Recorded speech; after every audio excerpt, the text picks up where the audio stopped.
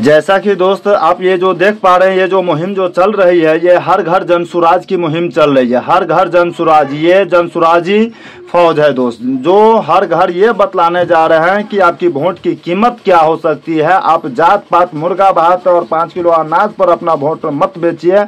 और कहीं न कहीं जो है ना, ये लोग अभी तक, ये शिकार हुए हैं ठगी का ही शिकार हुए थे। इसलिए ये जनसुराजी टीम हर घर जाकर ये बतला रहे हैं और लोगों का अपना अधिकार के विषय में समझा रहे हैं कि उनका क्या अधिकार है। तो चलिए दोस्त, देखते हैं ये क्या क्या बतलाते हैं। अभी पूरे बिहार में पैदल यात्रा कर रहे हैं। पैदल यात्रा कोई साधारण व्यक्ति नहीं करता है, जिसके अंदर देवी शक्ति होती है, वही पैदल यात्रा करते हैं। तो ये पैदल यात्रा इसलिए कर रहे हैं कि आज बिहार के अंदर में शिक्षा का स्तर अच्छा नहीं है, रोज़गार का स्तर अच्छा नहीं है।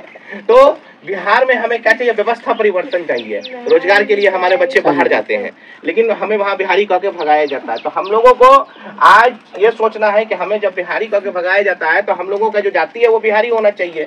तो आने वाले समय में जो वोट करना है, बीस के चुनाव में दीजिए तो ये सोच करके तो करना है कि न जात पर न पात पर न मुर्गा भात पर। वोट करना है पीके के बात पर। पीके यानी कि प्रशांत किशोर। प्रशांत किशोर जन स्वराज जिसका अर्थ होता है जनता का सुंदर राज। जनता का सुंदर राज तभी आएगा जब आप सही प्रत्याशी चुनेंगे।